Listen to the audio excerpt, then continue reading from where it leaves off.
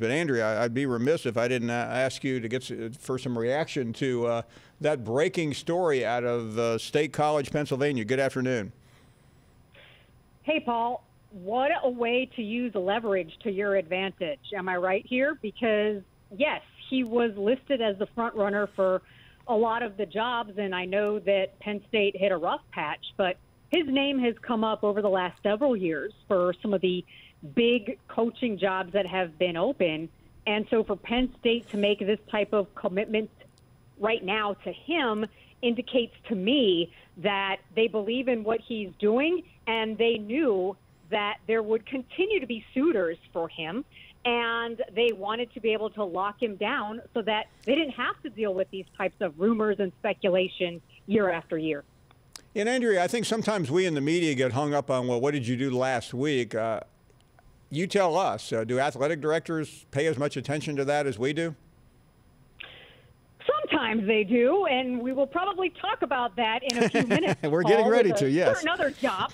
Uh, but in this case, no, because of the way he has uh, brought Penn State to a place where they are stable after what happened at the end of the uh, Joe Paterno era. Uh, and they are in position to at least compete uh, in their division in the Big Ten. Now, obviously, we all know who the big dog is on that side of it, and it's tough sledding when you have to go up against Ohio State and Michigan every single year. But Penn State has been better than Michigan uh, since James Franklin has been there. So for me, it's not really about what's happened in a couple of games this year. It's about the culture he's established and the way he's brought credibility and stability back to that program because of the way things ended under Joe Pa.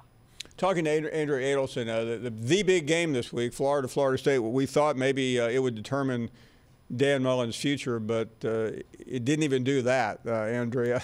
I know you live down there and follow those schools very, very closely. Let's talk about uh, the situation at Florida first and your reaction, and, and where do you think this all leads?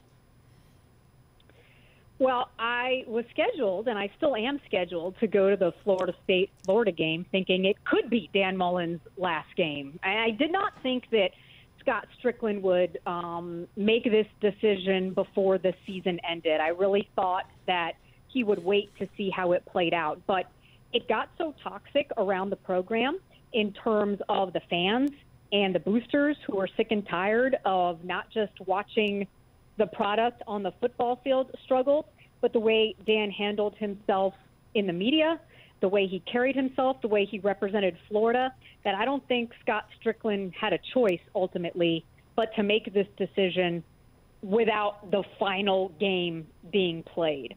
Where does this all lead is a great question. And I have to think that Scott already has his favored candidate list because it's not as if he woke up on Sunday and was like, I'm going to make a coaching change.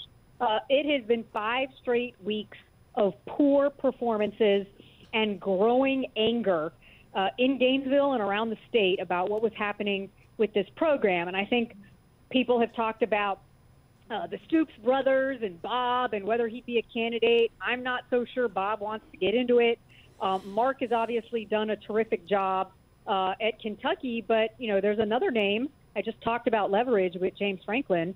Billy Napier has played this entire situation for himself really well because now he's probably going to have three suitors coming after him: LSU, Virginia Tech, and Florida uh, for his services, and he has coached under uh, some big name coaches uh, like Nick Saban and Dabo Swinney who believe in him. He's obviously done a tremendous job where he's been. He's got the recruiting chops and uh, the offensive capabilities to get this job done. But it's a big job, Paul. And there are a lot of check boxes that have to be made uh, for this hire to go as smoothly as it needs to be. I don't know if he is the answer, but I won't be surprised if that's who Florida goes after. Yeah, at this hour, it does seem like Billy Napier. Well, not. It, it seemed like from the moment Dan Mullen was fired that Billy Napier was the guy, and and the reason why I think it's important what you said, Andrea, this this is not going to be a three-week coaching search. Uh, I firmly believe, and I'm curious what you think. There'll be a coach in there by this time next week. You can't waste. You can't wait any longer. Uh, you have to get a coach in there at the top of the week because recruiting is chiseled down to about two weeks at that point. No doubt. And that is why I know Scott Stricklin feels a sense of urgency also for himself, Paul, because he's under an inordinate amount of pressure to get this hire right. Um, he mishandled the situation with the women's basketball program there, and he's still dealing with the fallout from that. He still has angry players who are currently on that team. He hired Dan Mullen, and now he has to go and find a football coach after, by, by the way, giving Dan Mullen an extension in June, even though there were a lot of people who were unhappy with Dan Mullen at that time. And we all know how important recruiting is, especially right now. Florida is struggling, don't even have a top 25 class. Kirby Smart is just wiping the floor with Florida.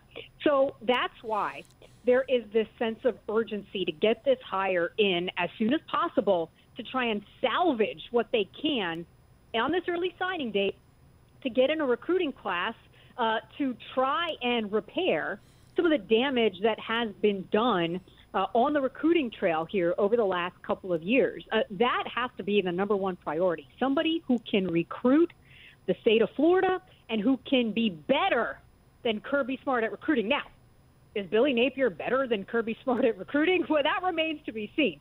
But he's got to be in the same ballpark. And Dan Mullen simply was not. And neither were the coaches on that staff. Uh, and, and it's unbelievable to me, really, Paul, when you consider where Florida is as a program, where it's located in the state of Florida, that they're struggling this badly to get players to want to play for them. It's not just Georgia. Florida State is beating them right now in the state of Florida, a program that has had how many straight losing seasons? Thanks for watching ESPN on YouTube. For live streaming sports and premium content, subscribe to ESPN Plus.